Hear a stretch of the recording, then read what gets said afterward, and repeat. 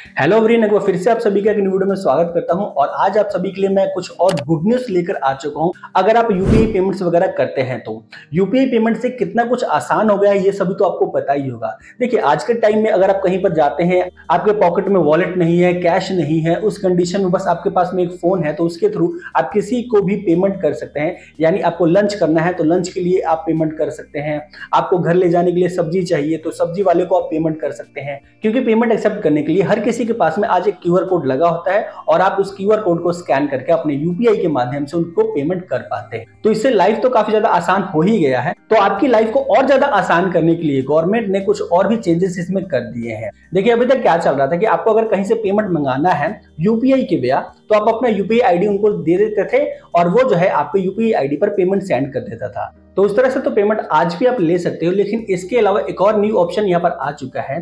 यानी आप UPI ID पर कैश डिपॉजिट भी कर सकते हो एटीएम मशीन में जाकर। अभी तक की बात करें तो आपके खाते में पैसे ऐड करने के लिए एटीएम मशीन से या तो आपके पास में डेबिट कार्ड होना चाहिए या आपका अकाउंट नंबर होना चाहिए। उसी के थ्रू ही आपके खाते में पैसे ऐड किए जाते थे एटीएम मशीन के थ्रू। बट न्यू रूल्स के अकॉर्डिंग अब आप अपना यूपीआई आईडी पर भी पेमेंट एक्सेप्ट कर सकते हैं। यानी आप जिस बैंक के यूपीआई आईडी पर पेमेंट ऐड करने वाले हैं एटीएम मशीन से उस यूपीआई आईडी पर जो भी प्राइमरी बैंक अकाउंट होगा, उसमें वो पैसा ऐड हो जाएगा। सेकंड चेंजेस की बात कर ले तो टैक्स पेमेंट भी आप कर सकते हैं यूपीआई के ज़रिए। तो यूपीआई के ज़रिए पहले की जो लिमिट थी, एक लाख रुपए थी, लेकिन अब इसे बढ़ाकर पाँच लाख रुपए कर दिया है। यानी आप टैक्स पेमेंट जो है, पाँच लाख रुपए तक अपने यूपीआई आईडी के थ्रू कर सकते हैं। थर्ड न्यू चेंजेस की बात कर ले तो वो ये है कि आप अपने ही यूपीआई आईडी को किसी और को भी यूज़ करने के लिए दे सकते हैं। यानी अपने फैमिली मेंबर में किसी को भी अपने यूपीआई आईडी को यूज़ करने का परमिशन दे सकते हैं। देखिए, अभी तक के प्रोसेस की बात कर ले तो आपके बैंक खाते में एक मोबाइल नंबर लिंक होता है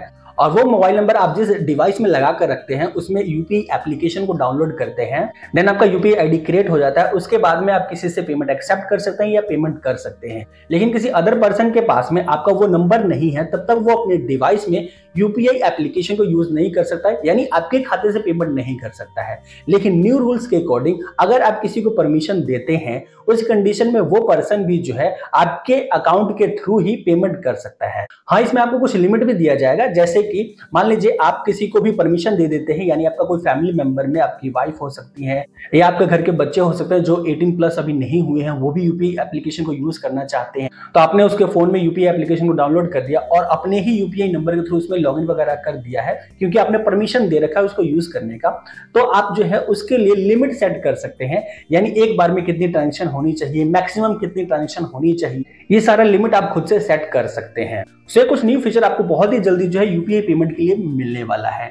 तो आज का ये इन्फॉर्मेशन अगर आपको पसंद आया तो वीडियो को लाइक कर दीजिए चैनल पर नहीं हो तो सब्सक्राइब कर दीजिए और दोस्तों को बताना चाहते हैं तो वीडियो को शेयर भी कर दीजिए। मैं आपसे मिलता हूँ न्यू टॉपिक के साथ, तब तक के लिए जय हिंद, वंदे मातरम।